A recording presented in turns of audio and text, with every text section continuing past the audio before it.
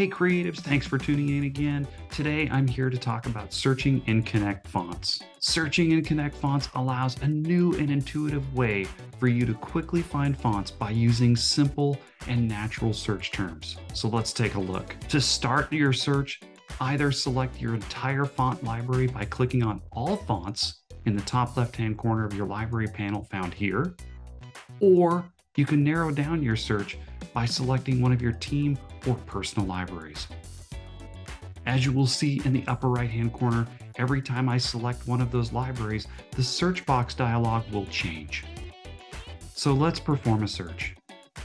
To perform a search, click in the search bar in the upper right hand corner of Connect and enter your desired search term. If you've recently performed a search in Connect Fonts, you'll see some recent search results populate when you click inside the search bar.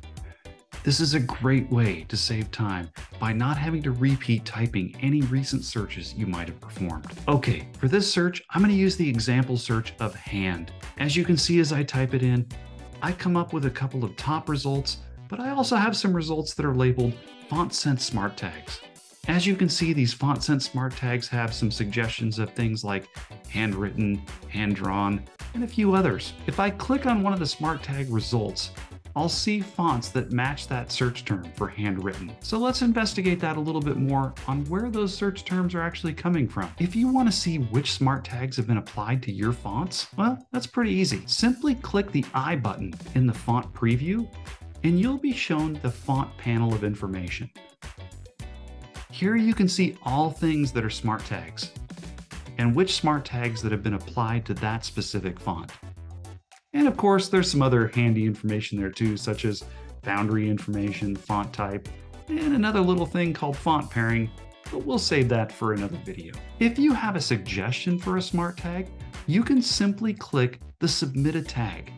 We love those suggestions and we review them all the time. If you don't want to wait for your smart tag to be added, don't worry. You can add your own tags even faster.